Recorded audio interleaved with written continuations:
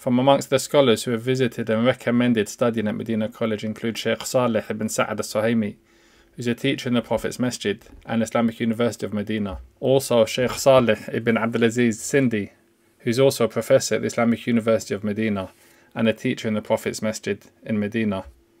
Sheikh Ibrahim al-Ruhaili, who's a professor at the Islamic University of Medina and teacher in the Prophet's Masjid. Sheikh Khalid al-Mushayqih, who's from the most prominent students of Sheikh Uthaymeen and a professor at Qasim University. We had a visit by Sheikh Abdul Salam al-Suhaimi, who's a professor at Islamic University of Medina, as well as Sheikh Muqbil al-Harbi, who's a specialist in Hadith at the Islamic University of Medina. Also Sheikh Abdullah bin Zayd al-Musallam, who's a doctor from Qasim University, taught Aqid al-Wasatiyah and al-Waraqat in Usul al-Fiqh.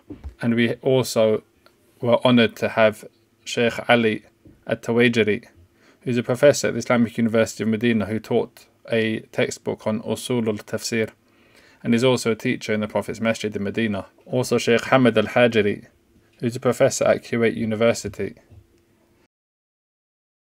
And Sheikh Abdulaziz as-Sadhan, who's a professor at Imam University in Riyadh. Also Sheikh Muhammad ibn Dawi al-Usaymi, who's a professor at Kuwait University, and Sheikh Anis al-Mus'abi, who's from the UAE. All of these illustrious scholars visited and taught intensive weekend seminars at Medina College in London.